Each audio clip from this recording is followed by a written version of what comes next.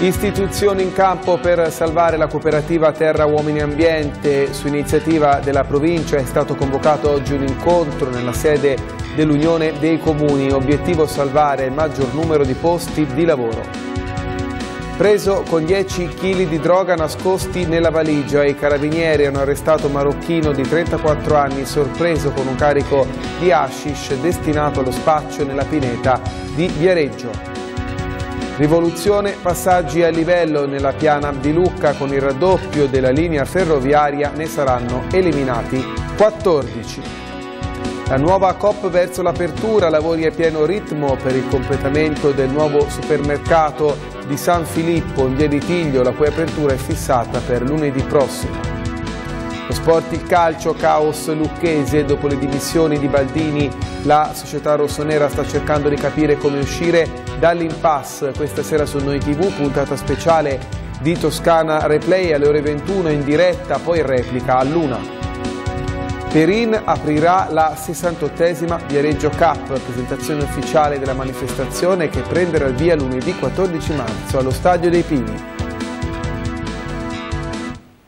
Buonasera, ben trovati per questa nuova edizione del TG Noi che apriamo con una notizia eh, giunta nel tardo eh, pomeriggio in redazione, una tragedia avvenuta a Castiglione Garfagnana, un uomo di 62 anni residente a Villa Colemandina, Franco Pieroni, ha perso la vita dopo essere stato travolto da un albero. Il fatto è accaduto in un terreno di proprietà dell'uomo in località Crociale nel comune di Castiglione. Secondo una prima ricostruzione dei fatti, il 62enne stava abbattendo un albero con un verricello quando la pianta lo ha travolto colpendolo alla testa. Inutili i soccorsi sul posto per i rilievi del caso sono intervenuti i carabinieri. Rimaniamo in Garfagnana per parlare del eh, futuro della cooperativa Terra Uomini Ambiente. Questa mattina un vertice, vediamo che cosa è emerso nel servizio di Egidio Conca. Istituzioni locali e parlamentari compatti per il salvataggio della cooperativa Terra Uomini Ambiente, in difficoltà economiche e di lavoro. Su iniziativa della provincia è stato convocato un incontro nella sede dell'Unione dei Comuni della Garfagnana. Il presidente della Coop, Nazareno Belleggia, ha illustrato il piano di risanamento che prevede tra l'altro una diminuzione degli occupati. I parlamentari si sono impegnati a coinvolgere il Ministero dello Sviluppo Economico affinché vengano garantiti a tutti i lavoratori gli ammortizzatori sociali. Noi saremo a fianco dei lavoratori e dei soci per aiutare a velocizzare tutti quegli strumenti anche soprattutto di ammortizzatori sociali, le misure che devono essere messe a punto per sostenere in questa fase difficile i nostri lavoratori, per essere vicini a questa cooperativa che ha dato tanto al territorio. Il presidente della provincia Luca Menesini si è detto disponibile a gestire il coordinamento tra i vari livelli istituzionali, insieme con le due unioni dei comuni, con l'obiettivo di puntare non solo al salvataggio ma anche al rilancio della cooperativa. La provincia CE ha istituito questo incontro insieme alle unioni dei comuni proprio perché la dimensione dell'azienda, la professionalità dell'azienda, la ricaduta dell'occupazione dell'azienda non riguarda soltanto il territorio della Garfagnana e della Valle del Serchio ma va ben, ben oltre. Eh, noi abbiamo preso atto oggi dei problemi dell'azienda che ha preparato un piano e a livello provinciale cercheremo di monitorare e supportare proprio questo piano nelle sue fasi di attuazione. Le istituzioni locali hanno giudicato positivamente il piano di ristrutturazione, per il quale si attende un'accelerazione dell'iter nonostante alcune perplessità da parte dei sindacati.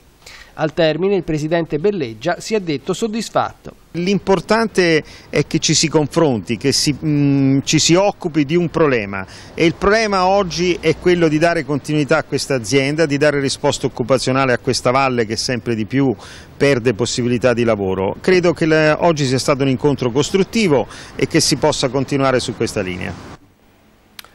La protezione civile regionale ha emesso, ha emesso un'allerta di codice giallo, dunque di tipo moderato, per il rischio neve dalla mezzanotte di oggi alla mezzanotte di domani. Allerta che riguarda la piana di Lucca e la valle del Serchio. Domani sono previste infatti nevicate a quote intorno ai 600-700 metri sull'Appennino tosco-emiliano, ma anche localmente e temporaneamente fino a 400-500 metri.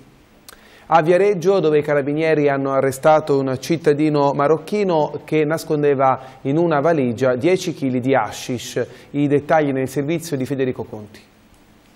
Aveva con sé 10 kg di hashish destinati alla pineta riponente di Viareggio, che una volta sul mercato gli avrebbero fruttato circa 50.000 euro, ma è finito nella rete dei carabinieri di Lido di Camaiore, che lo hanno individuato e arrestato. È il bilancio dell'operazione senza sosta, condotta dal nucleo operativo e radiomobile di Viareggio, che da settimane passa al setaccio il parco cittadino. Lo spacciatore, un marocchino di 34 anni, è stato preso sabato pomeriggio in via Boccella al Lido. L'uomo stava caricando caricando un trolley a bordo di un'auto. Alla vista dei militari si è dato la fuga, scavalcando le recinzioni delle villette della zona per seminare i carabinieri. È stato un ragazzino a passeggio con il nonno a cedere prontamente la bici ad uno dei militari che sulla due ruote è riuscito ad acciuffare il pusher. Con sé aveva 10 panetti di fumo nascosti nella valigia, ma anche denaro contante e due cellulari utilizzati per contattare la clientela. Un'operazione di rilievo che ha permesso di bloccare una delle fonti principali di approvvigionamento per lo spaccio al minuto che avviene eh, all'interno della pineta di Ponente. Rimane fondamentale eh, l'arte di improvvisazione dei militari sul terreno che riescono eh, in pochi istanti a, trovare sempre la soluzione più idonea per portare eh, l'obiettivo a compimento.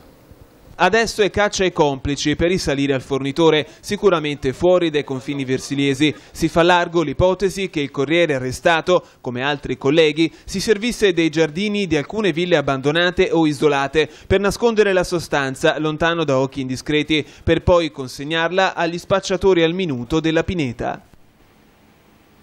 E adesso torniamo a parlare del progetto del raddoppio della linea ferroviaria tra Lucca e Pistoia perché questo raddoppio comporterà anche l'eliminazione di ben 14 passaggi a livelli. Il progetto del raddoppio della linea ferroviaria tra Lucca e Pistoia ripropone sui tavoli delle amministrazioni comunali la problematica dell'eliminazione dei passaggi a livello. Dovranno essere 14 gli attraversamenti ferroviari da eliminare nei comuni di Lucca, Capannori, Porcari, Altopascio e Montecarlo. Di questi 14, 9 insistono sul territorio del comune di Capannori, di cui 5 concentrati nella zona di Pieve San Paolo. Il progetto dell'amministrazione comunale vede la soppressione di 5 passaggi a livello, tra cui via del Corazza, via Barzocchini, via dei Malfatti, via delle Volpi, via della Chiesa e via del Quagliodromo e la realizzazione di quattro sottopassi, due camionabili e due a servizio della viabilità ordinaria. Quindi in questo caso appunto pensiamo a via del Casalino come viabilità interna, pensiamo a Santa Margherita in un'ottica di viabilità interna, mentre pensiamo a quello della cosiddetta variantina Tassignano nella zona della Chiesa anche come camionabile che quindi arriva fino al Pippe di Carraia, come pure anche camionabile quello di Pieve San Paolo. L'intervento più complesso sulla linea è però quello della via romana ad Alto Pascio, questione annosa che forse in questa fase e con i finanziamenti a disposizione potrebbe trovare una soluzione, per la quale però il primo cittadino Maurizio Marchetti ha intenzione di coinvolgere anche la cittadinanza per individuare un percorso condiviso vista la complessità urbanistica della zona. Il mio intento è quello di andare a aprire un confronto prima di tutto con la cittadinanza proponendo una o più soluzioni, ma direi più soluzioni, e per andare in qualche maniera a una sorta di decisione insieme ai cittadini, insieme alla popolazione, insieme a coloro che abitano, insieme a coloro che principalmente transitano. E con questo poi a sua volta andare, andare al tavolo insieme a Ferrovie dello Stato per definire la progettazione di questa eliminazione del passaggio a livello. Il primo eh, cittadino di Vagli Sotto, Mario Puglia, sarà l'ospite della prossima puntata di Diretta Sindaco in onda su Noi TV questo mercoledì alle ore 21. Come sempre eh, potete, se volete, intervenire con i vostri sms per domande e commenti. Oggi nella chiesa di San Frediano i funerali dell'onorevole Domenico eh, Maselli, morto lo scorso venerdì a 82 anni. Rappresentanti delle istituzioni e tanti semplici cittadini hanno reso omaggio all'onorevole Domenico Maselli per il rito funebre officiato nella Basilica di San Frediano a Lucca. Ad attendere l'arrivo del feretro c'erano la moglie Iole e i figli Andrea Valdo ed Ivana. Ad officiare la funzione e a ricordare la figura di Maselli è stato Paolo Ricca, teologo della Chiesa Valdese, chiesa della quale Maselli era pastore emerito.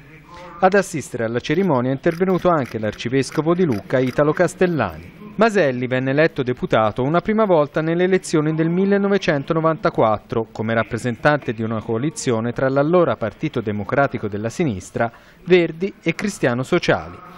Due anni dopo venne candidato di nuovo con l'Ulivo, in contrapposizione ad Altero Matteoli. Vinse Maselli, che rimase in Parlamento fino al 2001, quando poi decise di non ricandidarsi. Parliamo del nuovo supermercato Coop che aprirà lunedì prossimo a San Filippo in via di Tiglio perché in questi giorni vengono completati anche i lavori alla eh, viabilità, alla viabilità eh, che porterà il nuovo supermercato e, e dunque anche nella zona intorno all'ospedale. Lavori a pieno ritmo per il completamento del nuovo supermercato Coop di San Filippo in via di Tiglio, la cui apertura è stata fissata per lunedì 14 marzo. Il nuovo punto vendita avrà una superficie di 2.000 m2 e vi lavoreranno 52 addetti. Contemporaneamente all'apertura del nuovo sito chiuderà i battenti quello sulla via Romana. Su via Lippi Francesconi, la strada che porta al San Luca, è praticamente completato il parcheggio gratuito da 40 posti che sarà a servizio dell'ospedale, con i relativi accessi. Ma proprio su questo ha lanciato l'allarme il responsabile del sindacato Will Funzione Pubblica Pietro Casciani. Sembra che entrata ed uscita non colleghino la strada solo al parcheggio, ma fungano anche da accesso secondario al supermercato. Questo significa consentire il passaggio di almeno parte del traffico legato alla COP sul tratto di strada immediatamente antecedente il pronto soccorso, dove ambulanze ed automediche devono avere un immediato via libera. Abbiamo sentito sull'argomento l'assessore comunale Celestino Marchini, secondo il quale è vero che qualcuno potrebbe passare da via Lippi Francesconi per andare alla Coop, ma si tratterà di poche auto perché le entrate principali del supermercato saranno comunque aperte sulla via di Tiglio. Andiamo a Castelnuovo Garfagnana per mostrarvi lo scarico abusivo di qualche ditta edile che dopo aver smantellato un sottotetto o qualcosa di genere ha pensato male di gettare questi rifiuti in una strada privata nei pressi di Ruscello nel comune appunto di Castelnuovo. Questa è la strada che porta in due piccole località, Marigliana Bassa, pochi metri fuori dalla provinciale di Monteperpoli. Gli abitanti sono molto arrabbiati e indignati dell'accaduto, ci hanno segnalato il fatto e hanno provveduto a fare denuncia a Polizia Municipale e Carabinieri. È tutto per la prima parte del TG, adesso una breve pausa e poi ci ritroviamo con la pagina sportiva in primo piano, le vicende della Lucchese.